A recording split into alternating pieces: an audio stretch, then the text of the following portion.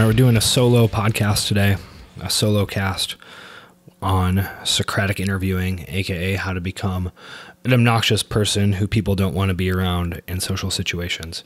Um, but uh, but really a, a potentially helpful way to to get clients, employees, etc., to actually learn stuff rather than just having you talk relentlessly at them, sort of like I'm about to do in this podcast, which is kind of a, a an ironic twist here that we're um, discussing Socratic interviewing in sort of like a rambling, prescriptive um, medium right here, but that's okay. Um, I'm actually a little nervous to do this since I don't like saying things about stuff that I don't know about. Um, and I don't feel like I'm necessarily an expert in uh, Socratic interviewing or, or, or, these concepts, but I do think that uh, there is something valuable here. And I, and I received a request to, to actually talk about this. So that's what I'm going to do. Um, so something that uh, um, has come up a lot for me is, with, with, working with clients or working with coaches and trying to, to teach them to do things the way that I want them to do it is that uh, I often think I know the answers, and sometimes I do know the answers in terms of what a client should do, or what a coach should do, or how to handle a specific situation, or why a coach should do a certain thing um, with a client, or to lead a class, etc. But the coach or client doesn't do what I want, and um, I used to be much more uh, prescriptive in terms of how I'd approach these things. I'd be like, oh well, I know the I know the right answer, so I'm just going to tell you, or potentially argumentative of like, well, why are you doing it this way? It should be this way, um, and you know, over time you learn that's not always the, the most effective way to, to actually get behavior change in people.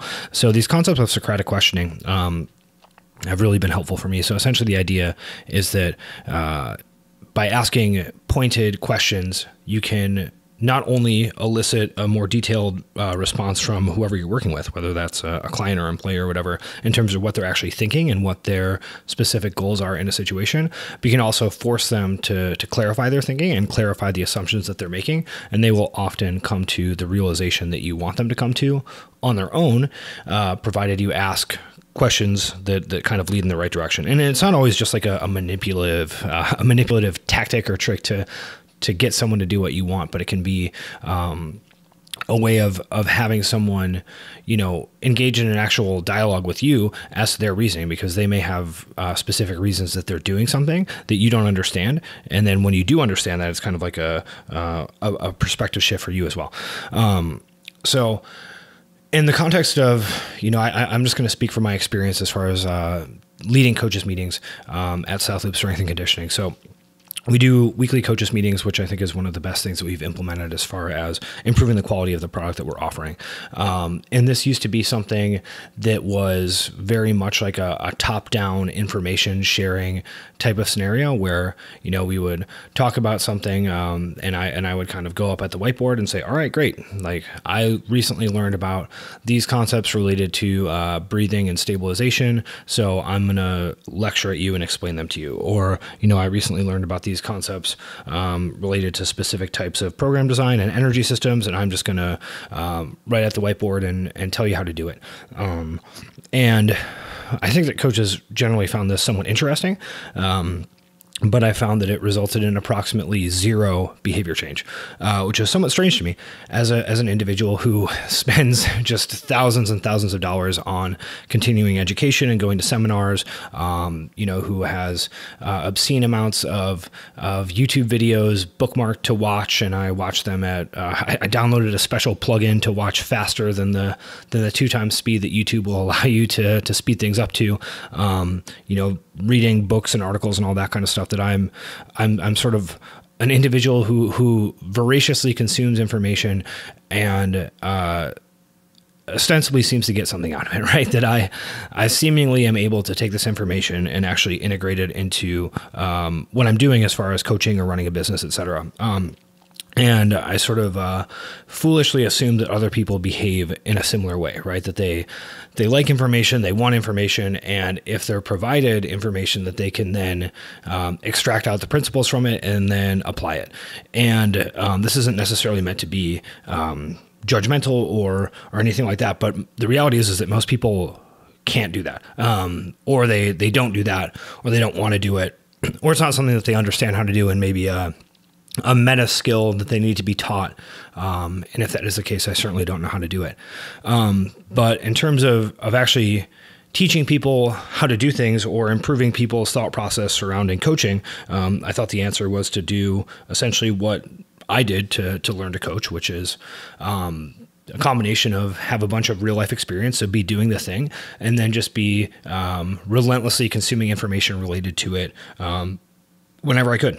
And uh, um, again, I saw that this was just not not terribly effective, and I think that there's uh, um, there's a subset of people who we can call model builders, right? Where they they tend to create a model of the world and have a bunch of theories about how it works. Um, up and down different layers of abstraction, right? So they have very detailed, um, specific pieces um, at a very tactical level, and then they have kind of like big picture theories about how things should work. And they're sort of always jumping up and down um, those different layers and testing their experiences against the um, the the predictions of their model, and then when they read something, they sort of are comparing it against the uh, um, the specific aspect of knowledge that they already have, and they're seeing if it aligns, if it doesn't align, if there needs to be something that needs to be tweaked. Um, if there's something that uh, is a sl- you know a subtle alteration of how they actually think about things, or if it's like totally at odds with their own model, and that potentially either the thing that they're reading is wrong or their own um, understanding of how the the phenomenon works, it, the, how the phenomenon works is wrong, and you know I think people who do this can take in a lot of information at seminars or reading articles or watching YouTube videos and they can actually get something out of it because the entire time that they're they're taking in this information they're actively sort of like comparing it to their to their own model of the world and updating right so they're it, it I hate terms like active listening, but they but they're not just they're not just listening and saying, "Oh, wow, that's interesting." They're really thinking through, does this align with my own beliefs, my own prescriptions, my own experiences? Um, I think of this as kind of like a, if you imagine transparency, um, which I'm sure doesn't exist uh, in high school anymore, but for me that was a, a common a common feature of high school classes, right? A transparency. Um, you sort of think about different models of the world as, as, as two different transparencies. and You kind of overlay them on top of each other, and you see where it's different and where those things are different. You know that that's where there's there's something that needs to be uh, something that needs to be checked on, right? So it might be something like um, I don't know what would be a what would be a relevant example. Well, we'll get a little in the weeds. It's fine. Um, we think about something like uh, uh, missing thoracic extension, right? That this is a very common thing that people talk about, meaning the ability to extend the upper back um, in various activities. And a lot of individuals are quote unquote missing thoracic extension when they are attempting to put their arms over their head. So they have a hard time achieving a good range of motion with their arms over their head. And the the sort of conventional wisdom here is that you know what you're missing thoracic extension. Um, let's actually mobilize you into extension. This is what we need to do. We can do this this with a foam roller and a kettlebell and um, you know lacrosse balls and all that kind of stuff which those things are actually effective, um, which is which is pretty interesting, given that I think that the the model of missing thoracic extension is somewhat incorrect.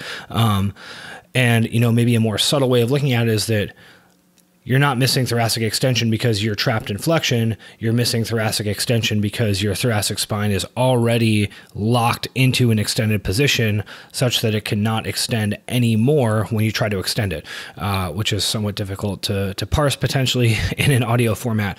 But um, you know the idea that I uh, that I used in, in, terms of explaining this previously was like a, a door that um, is open all the way. You can't open that door anymore, right? Um, so if, if, you're if you're thinking about the thoracic spine like a door, if the door is trapped um, in a closed position, right, you need to sort of like unstick it so it can open. Um, but if the door is opened all the way, um, you're not able to actually open the door anymore because there, there's nowhere else for it to go. So if we think about this concept of, you know, missing thoracic extension, it could either be that someone is locked in flexion or someone is in too much extension. And if you have a model of the world of how this actually works, you're able to sort of compare your reference experiences to different theories and potentially iterate over time to say, you know what, maybe all these people are not locked in flexion, but they're actually locked in extension. And the stuff that we're doing that's effective, like foam rolling and lacrosse balls, et cetera, um, may actually be effective not for the reason that we thought it was. It's not because it's mobilizing them into extension, it's because it's giving different um, proprioceptive feedback and um, sort of like you know, prodding various tissues uh, in this area that has some sort of altered movement mechanics. And then based upon that, we're able to potentially get the thoracic spine into a more neutral position, which then allows further extension, right? And then uh, you know, we're really kind of getting getting lost in the weeds on this specific area. But the idea here is that some people actually have models of the world that they're updating constantly, and then they're able to sort of um, think through how these things work and compare it to the reference experiences and change it. Um, whereas other people just kind of have a uh, a collection of of random rules and and intuitions uh, that aren't necessarily being updated. So they're just kind of like a hodgepodge of of different rules for different situations, uh, but it's not cohesive and they don't necessarily understand which layer of abstraction they're actually working on right meaning um, you know is this potentially a a motor control issue? Is this something that's like a very specific joint mobility issue? Is this a technique issue? Um, you know that that all those things are different layers where there can be different problems and there's usually one that is going to be sort of like the dominant area where something needs to be fixed um, so all that to say uh, you know my, my assumption was that just by presenting information that people would take it in, update their models of the world, and then sort of go forth and uh, uh, and do what I wanted. And I found this to be very false.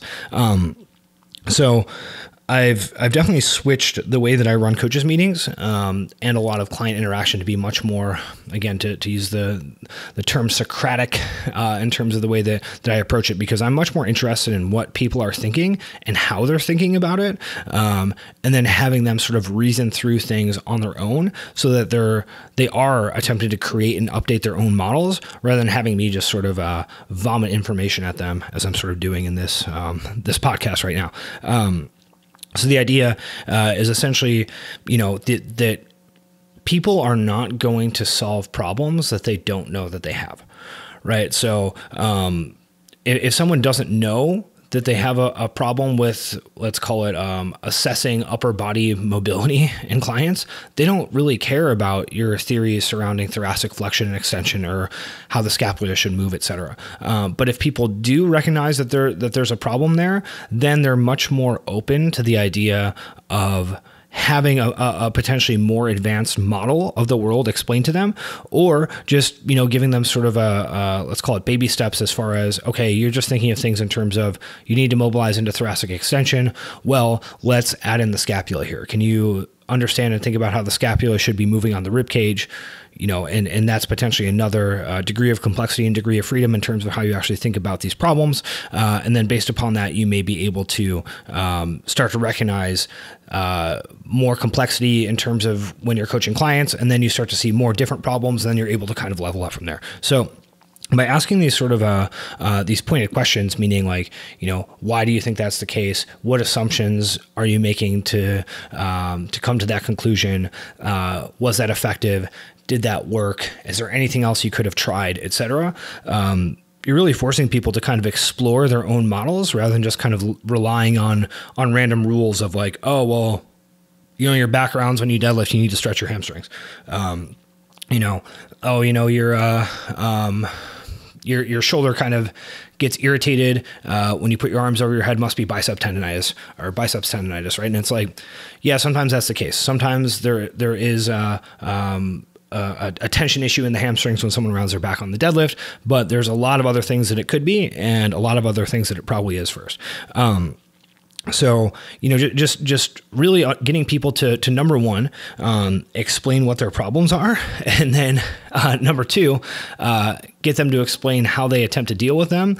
And then number three to really probe them with different types of questions to have them clarify how they're thinking about things. Uh, i found this to be much much much much much more effective as far as actually getting behavior change. So to give an example of how this uh, potentially works in our coaches meetings we will do um, at the beginning of our meeting uh, we'll, we'll, we'll, randomly select a coach and have them share something that they struggled with um, over the last week, right? This could be coaching a client. It could be like a, a potential emotional issue with a client. It could be uh, potentially a, a, a movement or mobility issue. It could be difficulty explaining a certain prescription, etc.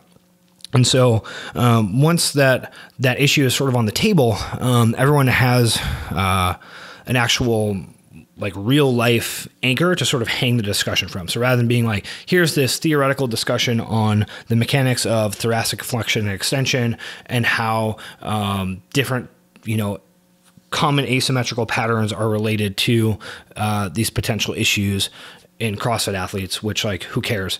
Uh, but it's like I was trying to get this client to achieve a proper front rack position, and they couldn't do it. And I tried this, this, this, and this, and they still couldn't do it, and they started to get frustrated. Um, everyone in the room sort of understands. Um, you know what what that feels like and what that problem is. So we have a real life example to actually hang any sort of discussion off of, which makes a huge difference, right? And then we have an actual um, you know decision tree flowchart of how this coach attempted to deal with that specific problem. So then they're um, talking through their reasoning, they're talking through what they tried, they're talking through what didn't work, and then based upon that, um, you know, my role in a lot of these discussions is, is, to just kind of ask probing questions and keep it moving, right? Um, and what I would have done, you know, a few years ago is just be like, oh well, here's the problem. You need to do this, this, this, and this. It should have been like that cool. Any questions? Great. Let's move on. Um, and that's just not helpful at all, right? That um, coaches don't learn anything. Um, you become like the quote unquote guru. So it's like, oh, wow, yeah, like he's so smart, but that's not helpful for anyone because uh, no one else actually learns how to do that stuff. And then people become sort of like dependent on you or feel fearful of you to actually explain um, how things work and, and why they should do things. So just a, a, totally ineffective way to actually get people to become better, right? Um, so to, to sort of circle back to this example of the, this client struggling with a front rack, you know, we talk through, okay, what did you try? What would everyone else have tried? Why would you try that? What assumptions did you make about trying that? What expectation do you have about how much they would potentially get better?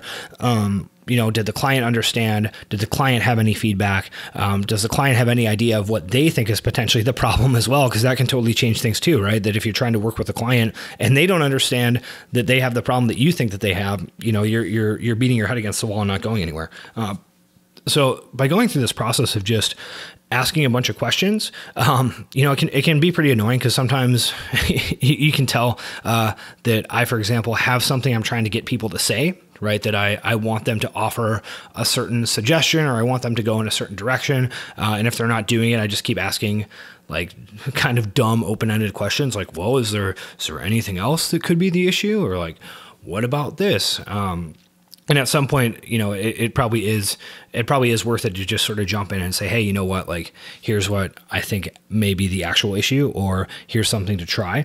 Um, but ideally, at that point, you know, by by going through the, the the discussion, having everyone explain their own thought process and their own reasoning, and coming up with different ideas, um, potentially writing some stuff on the board, uh, drawing diagrams, you know, having having coaches do all these different things.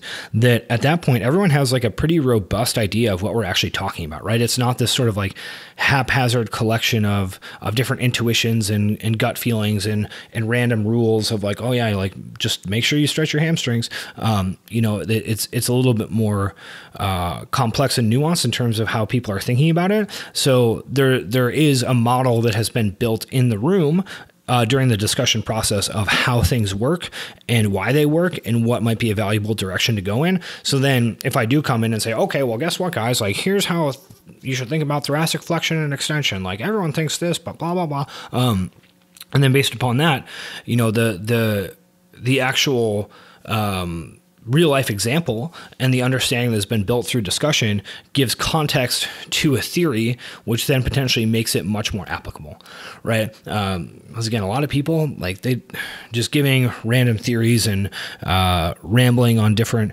examples and uh, getting in the weeds on you know why certain common thought processes are wrong is just like not really not really a terribly effective way um, to actually get things to actually get things changed and to get to get people um, understanding things better so through the process of these um, Socratic questions, right? These these clarifying questions, these sort of pointed questions, uh, we're essentially forcing people to engage in the process of model building right? Again i think there's some individuals who do this very intuitively um, that they they think through uh, the different implications of their theories. They make sure that they actually make sense with the uh, uh, the real life examples that they have. They update them based upon new information. They challenge them with um, with expert information.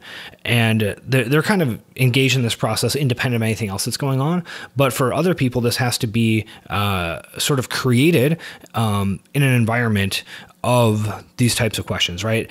And that that becomes much more effective then for actually driving the um, the ability of individuals to to better understand things and change their behavior because they are then repeatedly forced into this environment, which which in and of itself becomes a skill, right? Is that when you're doing this consistently on a week over week basis, where it's like, all right, I know that someone is going to come with some sort of problem, and then I'm going to get asked all these questions, and you know, if I say something, I better have some sort of explanation for it, or um, you know, if I if I'm making assumptions, I really do need to to think about what assumptions I'm making uh, when I make a statement.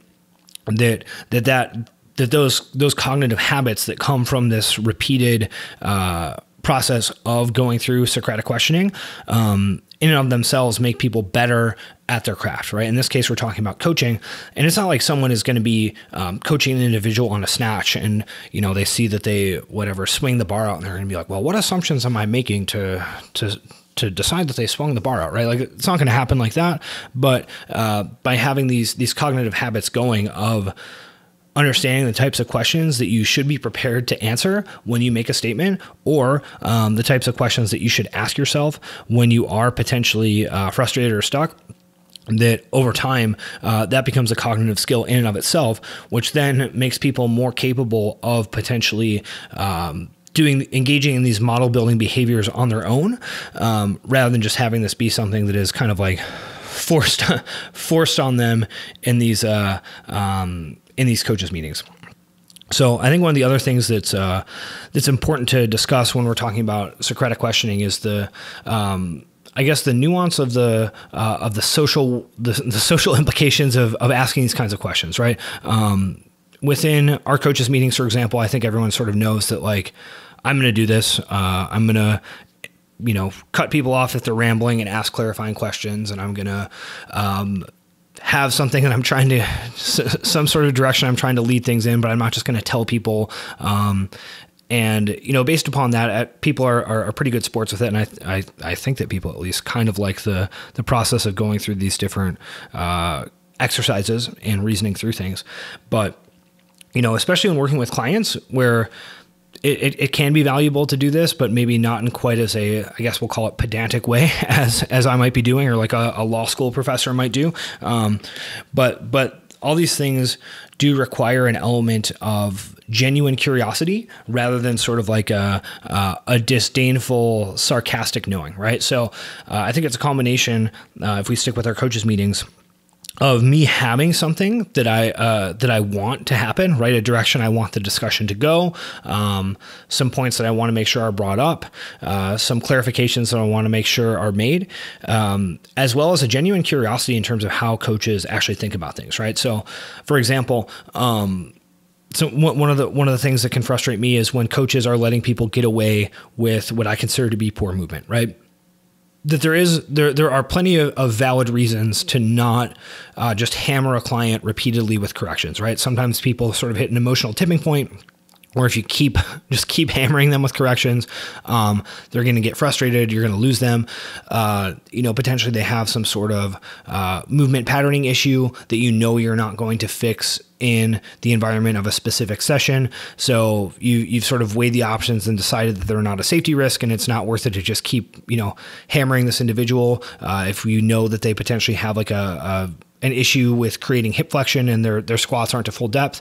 Um, you know, maybe you're prioritizing something else with them. Um, you've really worked hard on getting them to, uh, let's say, initiate the squat at the hip um, rather than just at the knee, and they're they're doing a pretty good job of it. But their heels are still coming off the ground like crazy in the bottom of the squat. You may decide that you know what, like we've made some progress today on this one specific area, and I'm not interested in overwhelming this person with more corrections and making them feel like they failed when they actually did a pretty good job of taking a step forward in terms of their movement, right? All kinds of reasons to potentially um, leave someone alone on a movement quality issue. Um, but you know, I, I, still I still can see it happen. Uh, in classes and I get frustrated where I'm like, why are you letting this person do this? Like you have to do something about it. Uh, but I, but I'm curious. Like I'm not just mad and I'm not just disdainful. I'm not sarcastic. I want to know why, why are you letting this person do this? Um, and sometimes the answers are are surprising, right? Sometimes it's not what you'd expect. Uh, something that has come up often is, um, especially with uh, people who are drop-ins, uh, meaning visitors from out of town. Uh, there's uh, there, there's some element of selection bias in terms of people who are going to go out of their way to train when they are uh, in a foreign city and go to a different gym are probably people who are are are highly motivated to exercise, uh, which is probably also correlated with people who are like sort of stubborn and hard charging. So uh, the the percentage of drop-ins who react badly to coaching uh, is is relatively high. It's not like massively high, but but there's a uh, there's definitely a difference in terms of drop-ins versus normal class members. Right, drop-ins come in with expectations of how things should be done. They have their own culture at their gym. They may not have an awareness of how different gyms operate. They're probably the most uh, motivated and stubborn and potentially disagreeable people, um, since they're willing to sort of throw themselves into. Um, you know, potentially uncomfortable situations. And some percentage of drop ins just sort of lash out at coaches who correct them, where it's like, hey, like, maybe you should try doing it this way. And they're like, oh, well, in my gym, we do it this way. And, you know, after having enough bad experiences with trying to coach drop ins, some coaches just sort of like, you know what? Like, I'm going to try to help the drop in, but I'm just going to, you know, soft pedal around them and, and, and not, and not push too hard on it. And, um, I'm, I'm, I'm not going to say that that's an, an unreasonable uh, reaction to, to the dynamics of the situation, right? Other things can just be coaches being super frustrated because they've given the same cue repeatedly to an individual. That person hasn't listened, um, and they feel like their options are that they're that they're being you know actively disrespected and, and ignored, and they'd rather leave that person alone than potentially create some sort of altercation because they, they don't necessarily trust themselves to uh, be neutral when giving feedback, right? So again, there's there's potential solutions to these problems, but it it might not be what I would think as far as why coaches are letting people get away with stuff. So um, a genuine curiosity in terms of you know, well, why do you think that? What do you think is going on with that? What are things that you could have tried? Um, and if there is that element of curiosity, you know, people can feel that and they may be able to tell, obviously, that you are, are engaging in some sort of like uh, strategic questioning of their decision making process. But, um, you know you're much likely to much more likely to have uh, a productive and fruitful discussion if you are able to to make these questions much more neutral um, and curious. Same thing with clients, right? Because clients can get irritated with you if you're like being a weirdo and and just like asking all these leading questions and never saying anything, and they're like, "Yo, like." You're my coach, and I hired you to kind of tell me what to do. So tell me what to do. Um, although, go, going through the, the questioning process and sort of making them ask you can be a good way to get buy-in, right? Because people don't necessarily want prescription. They don't want to do what their what their dad tells them, like, you know, leave, leave me alone, dad. Um, but the idea of, of having a client actually ask for a specific prescription rather than just sort of throwing it at them um, can be a great way to get buy-in, right? Uh, it's it's much more effective when someone either comes to a conclusion on their own, potentially comes to a conclusion through um, some sort of you know guided questioning process, or specifically says, "Hey, I don't know what to do in this situation. Please tell me." Um, you know, you're going to have much better uh, adoption and, and, and, compliance rates based upon that, rather than just being like, "Oh, well, you know, I see that you did this, this, this, and this." Uh, the the problem is clearly that you know you're inconsistent with your your nutrition plan and you you eat out on weekends and don't track your macros. Like, stop doing that. Um, um, and you know, if that client is like, well, guess what? Like, I, am I'm, I'm in sales, um, and all of my, um, you know, networking opportunities and, uh, opportunities to actually push my push my career forward are at these weekend events and I need to actually engage in these these um, client dinners and all that kind of stuff without being the weirdo who's like bringing bringing Tupperware to uh, um, some sort of restaurant or something like screw you i'm not doing it uh, you know you've you, you, you've you've really lost the ability to actually uh, connect with that client if you give them a, a, prescription that that indicates that you're out of touch with what they what the what the realities of their life are and what they're willing and unwilling to do and people will just tune you out at that point too. You know, they'll just get, yeah, okay, cool. Yeah, sounds good. Yeah, sounds great. Um, but by engaging in some sort of questioning process, you, you are potentially able to um, understand what their decision making criteria are and why they're doing things, and then maybe uh, come up with some sort of um, you know solution that is that is actually helpful for everyone. So. Um, to wrap up on this again ironic podcast where i'm being prescriptive about the process of um, socratic questioning uh, i think that the the big thing here is that understanding how to help people actually model the world is is what we're after, right? We're we're after the idea of asking questions that force people to really clarify why they're doing things, what assumptions they're making, and how they're coming to their conclusions, rather than just allowing them to rely on uh, kind of random tactics and intuitions and rules that they've um, pieced together from experience or from something that they were told once when they, you know, in our case, first started coaching. Um, and that by going through the process of asking all these questions all the time, uh, you know, we're able to then create opportunities for people to to share information and, and, really give insight into why they're doing what they're doing. And then based upon that, um, you know, as a as a manager in this case or whatever, if you do come in and are prescriptive or want to explain something uh, that ideally, you know, your your staff will will actually understand uh, what the, what the relevance is and are able to to relate it to their experience and you as someone who is then delivering a message are able to um, alter the message based upon what the uh, what the reality is for your staff right you you understand why they're doing what they're doing you understand where their thought process is at. You understand the barriers that they have. So you can then give uh, a prescription to them or, or, an explanation to them that actually makes sense rather than just being like some, you know, out of touch theoretical, um, you know, non real world example. Um, again, sort of like this podcast. Um, and then when, when applying this stuff to clients as well, it's very similar, right? It, by, by asking these pointed questions, you're able to, to really help clients clarify where their sticking points are uh, and why they're, why they're potentially not following through in the way that they should be, or what, what the reality is as far as like, okay, well, if you want to, to really take the next step as far as body composition change, like here's what might be required. Are you willing and prepared to do that? You know, if you want to take some, the next step as far as performance, well, you know, you're training this much per week, and the reality is, is the pe- the people who you want to compete with are training this much per week, and um, there may be ways that you can be more efficient or or whatever, but like you know, is is there a way that you can move forward, or are you okay with not actually taking that next step and, and sort of sticking where you're at um, relative to the competitive field? So um, hopefully, uh, those concepts are helpful. Hopefully, everyone listening to this is a is a quote unquote model builder, so you're able to take um, abstract theoretical rambling and uh, potentially hook it into hook it into real life experience and uh, create some create some behavior change with it. Thanks for listening all the way through. I admire your grit, your persistence, and your perseverance. Since you made it, I have a few favors to ask of you. Go ahead, and open up the show notes on whatever podcast player you use. In there, you'll find links to all the resources that were mentioned throughout the show. There's also some links there in which you can leave a review or subscribe to the show. And podcasters are always harping on this because this actually makes a difference in terms of the algorithms that recommend podcasts to new people. So if you do that, it helps more people find the show.